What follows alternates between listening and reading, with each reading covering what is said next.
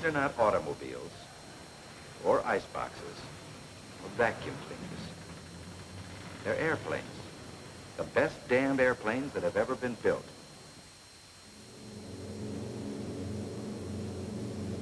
Here are the men who make up a crew of an American bomber. It is our contention, which we will prove in the air over Europe, that these are the best damn crews that have ever been assembled. Is that the truth, or is it cheap bragging which hides behind flag waving? How do we know we've picked the best man for the job he can do best? How can we be sure of that? Here's how. The owners of those suitcases are going to be bombardiers, navigators, pilots. The Army Air Forces must find out which hands are most sensitive, which eyes are most keen, which reactions most adaptable to those three different, different, mind you, jobs of bombardier, navigator, pilot. Here's a preview, men, of how you're going to be pumped and prodded and gone over with a fine-tooth comb. If there's any single little nerve you've got hidden away in the middle of your spine that makes you jump this way instead of that, Uncle Sam will find out which way it jumps and use it in the way that he says will end the war quicker, which is why we're all here. That doesn't mean your preference for jobs isn't considered. We want to know your preference. But we must be sure it matches the talents and natural skills you were born with. Now for your physicals. How's your perception of depth, mister? Read the bottom line. We can't take chances with eyes when there are bombs to be dropped on Tokyo. Only for the navigator may they be less than 20-20. And even here, vision must be correctable to 20-20 by glasses. Ear, nose, and throat. Nothing is overlooked. Aviation cadets have to be in top physical condition. Teeth, too. The job before you, mister, has no time for useless days spent in the hospital or dental chair. This is to see how you function. Stand erect, feet together. Close your eyes and extend your right arm. Now, bring your index finger around to the tip of your nose. Your nose, mister, not your ear. That's better. The Army believes in fighting illness before you get it.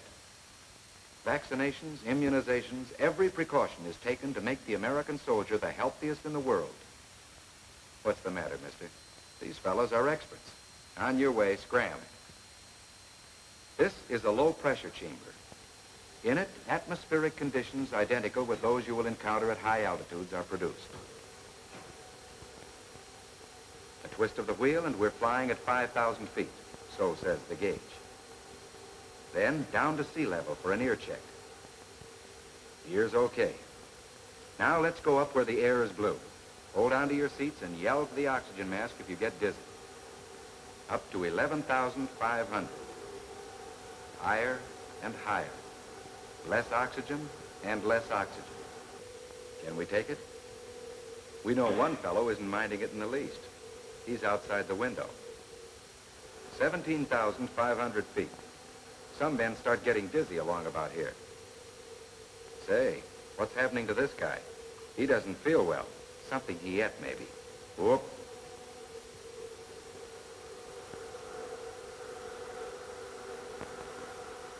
He goes into the auxiliary lock. A few whiffs of oxygen and he's good as new. 24,000 feet up and still climbing. Oxygen is a must now. This man has volunteered to be a guinea pig and see if he can take it. Write your name, mister. Now, that's a nice, clear hand. Nice and steady. How would you like to tangle with a Jap Zero in this condition? Get that silly grin? He thinks he's doing great. How much is six and seven? Six, seven, he knows. 16. Three for state tax. Do you still think you could fly an airplane without oxygen? Back to sea level. What's next? This looks like a schoolroom. It is. Be seated, misters. Get set. Go. This is called a paper and pencil test. It has nothing to do with IQ or intelligence, but is to test your general aptitude for the stiff academic courses to come. Here's the answer sheet, and this is the way you mark it. Think hard and think fast. Men who can't think and concentrate under stress have no place in air crews. Stop. That's that, misters. Your first test is over. Pass along your papers. The marks and scores you make are going to tell the classification board whether you're bombardier, navigator, or pilot. Who marks the papers? Honest John here works automatically. Flip, so many right, flip, so many wrong. And another flip gives you the score. What you're entitled to, you get. A reaction time test.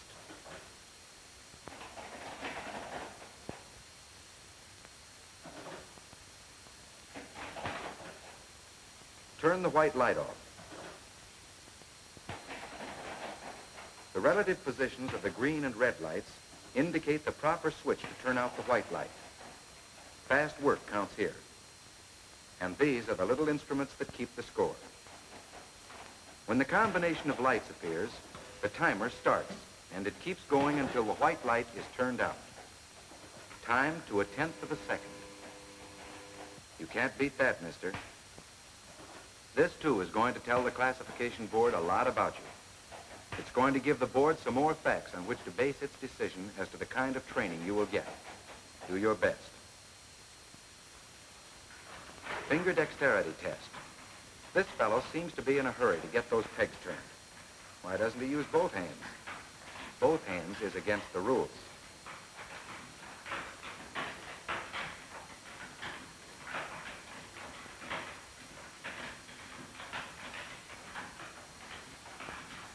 Well, this should show how fast a man's fingers work. Stop. 23 pegs, 23 score. 26 pegs, 26. That's simple enough. The steadiness test. What won't these psychomotor experts think up next?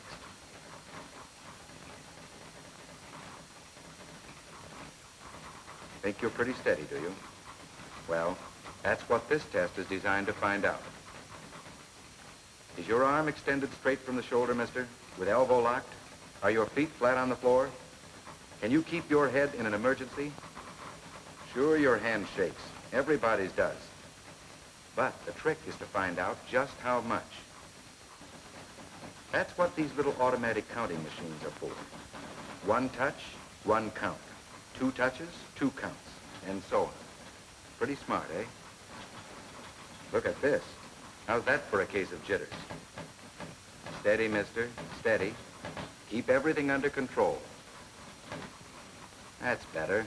Now you're on the beam.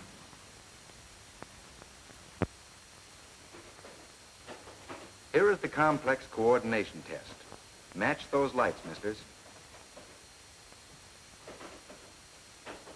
Just a little matter of putting your hand in one position while you put your feet in another. Looks easy from here, even if our friend Frank is finding it tough. Steady does it, mister. That's the stuff, Charlie. You're getting the hang of it now.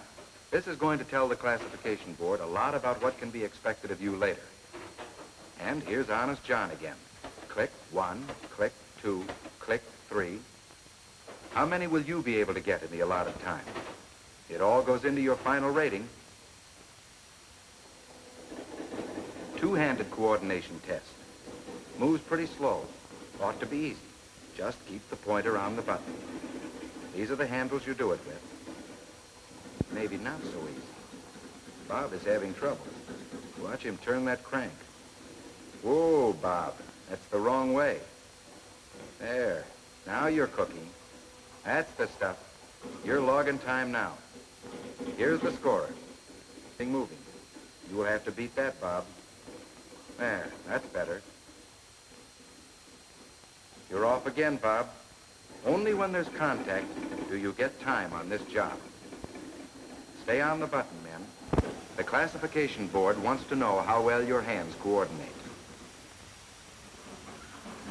The rotary pursuit test. How does your coordination stack up? Pointer on the button.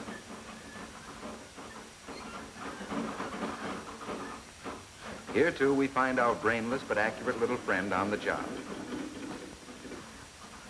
Contact means time to your credit. But when you're off, the little machine has no more heart than a brain. And it all adds up to another fact for the classification board.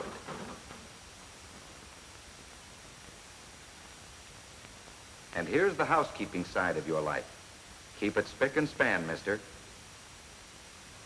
In the evenings, though, there's time for relaxing. You can let down now, write letters and hold bull sessions.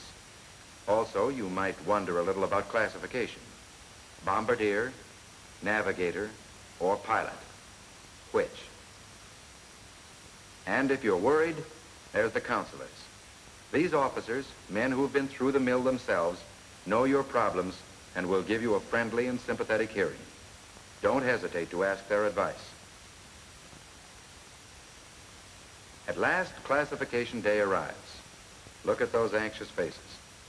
You will soon know, misters. What does the folder say? Preference, Bombardier. Rating, Bombardier, 8. Good work, mister. Here's a lad who has done a job. He wanted to be a bombardier. His highest rating is for bombardier. That means he will get his preference. Keep on the beam, fellow, and you'll be dropping them on Tokyo. Bob's preference was for navigator. And his high rating is for navigator. Nice going, Bob. You've got a right to be happy. The classification officer is happy, too. The guys in your ship needn't worry about getting lost. You'll take them there and bring them back. Uncle Sam is betting on you, Bob. But this looks like trouble. Frank is worried. It's Bombardier, Frank. Don't like it? All right. You can appeal to the classification board. That's every cadet's privilege. But watch out there, mister. You don't forget military courtesy. Not in this man's army. There, that's better. Sign your appeal. You will find that the classification board will give you a sympathetic hearing. And if a mistake has been made, they will be quick to acknowledge it. It is a rule of classification that every man gets a fair hearing, mister. Poor Frank. He's mad at the board, mad at himself, mad at everybody. Let's listen and see what happens. What have you got against being a bombardier? Why, I've got nothing against bombardiers. It's not that. Just that I should have pilot training. That's what I put in for, sir.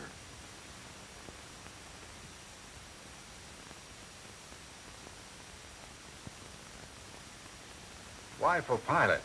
Well, sir, my dad was a pilot in the last war. He shot down four Germans and received a medal. That's enough reason. I suppose he told you about the fighting he went through. Yes, sir, our ships weren't much and his gun kept jamming, but he downed four Germans. With ships like we've got now, I ought to do a little better. Did your dad also tell you about the bombardiers in the last war? Bombardiers? Why, there weren't any bombardiers. Everyone knows that, sir. But did you ever stop to think what just one good first-rate bombardier could have done in the last war? The Kaiser would probably have traded his whole Air Force for one flying fortress. It isn't the last war we're fighting, mister. It's this one. There's a difference. And if we don't recognize that difference, we won't win. In 1918, it was pilots. But in 1943, it's going to be air crews. It may mean dividing the glory, but it will also mean many, many times the efficiency and the effect. All the members of an air crew are equally important. None of them must fail. Let's look at the other side of it, mister. Your aptitude rating for pilot is three. You see that graph? This graph is based on the actual training results of thousands of cadets who have preceded you. It shows that out of each two men given pilot training with three rating, one has failed. You see what that means? Just a 50-50 chance at the best. And I regret to say that experience shows that mediocre pilots do not stay alive. Well, I'm not afraid. I'll take my chances, sir.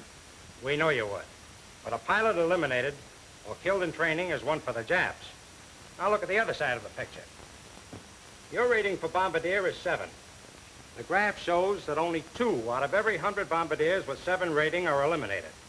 Your chances as bombardier, therefore, is not 50-50, but 50 to 1. A live bombardier over Tokyo is one for our side.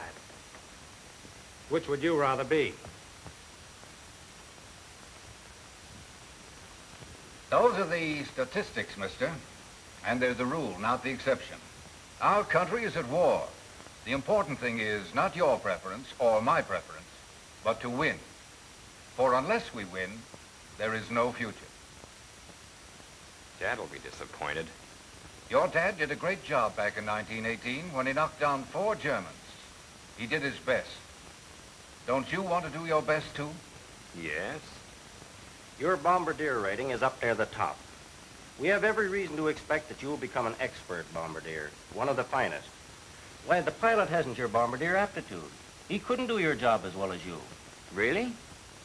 By your reflexes, your mentality, your score in these classification tests, we find that you were actually born to be a bombardier. You mean, sir, I might really get a chance to drop some bombs on Tokyo or Berlin? That's what the Air Forces mean, mister. And they mean it. I'll put everything into it. Don't worry about that, sir.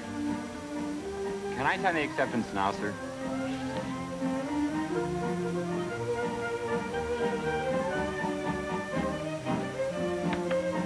You know? The pilot only chauffeurs the ship in this man's army. He works for me. Well, I'm going to be a hell of a bombardier. I mean, I'm going to be a hell of a bombardier, sir.